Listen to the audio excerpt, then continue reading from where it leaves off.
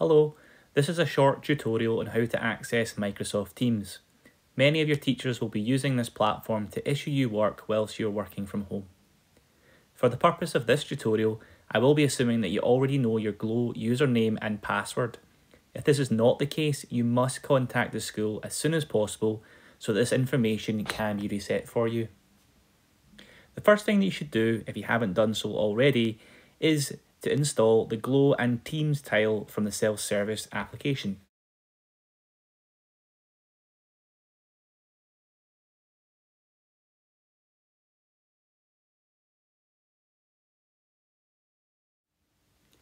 Teams can be accessed through Glow on any web browser, but if you're using your school iPad, then it is more convenient to use the app. When using Teams for the first time, you will need to log in. Type in your Glow username and then click sign in.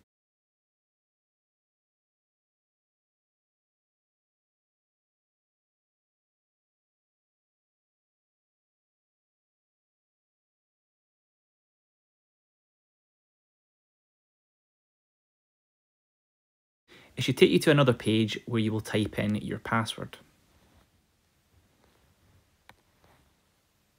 After you sign in, accept any messages that pop up, and that's you. Easy as that. You can view all of the teams that you're in at the bottom of the screen by clicking on the Teams icon. They will appear on the left hand side, and you can view them by clicking on General. Here you can view any post the teacher has made with instructions for lessons, access files that they have uploaded, such as notes and PowerPoints, and specific assignments that they may have asked you to complete. The app will log you in automatically from now on, but if you ever encounter any problems, you can access Teams through Glow directly. In order to do this, you obviously need to log into Glow.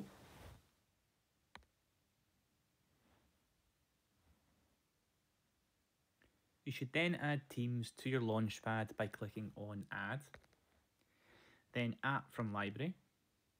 You should then search for Teams, and finally, Add to my Launchpad. Once you've done that, you can return to your Launchpad by clicking the rocket icon at the top and then loading up Teams.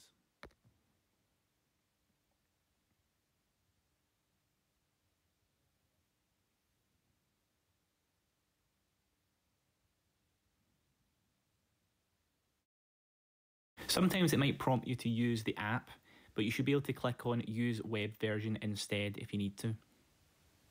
If you encounter any problems doing this, you might need to check your Safari settings.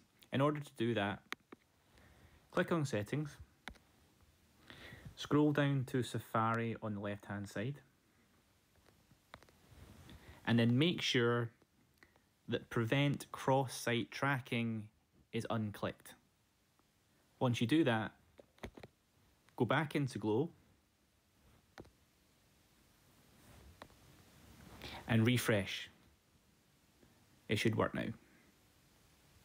That's all you need to know in order to access Teams. If you're still finding yourself having problems, please contact the school as soon as possible for some assistance. Thanks.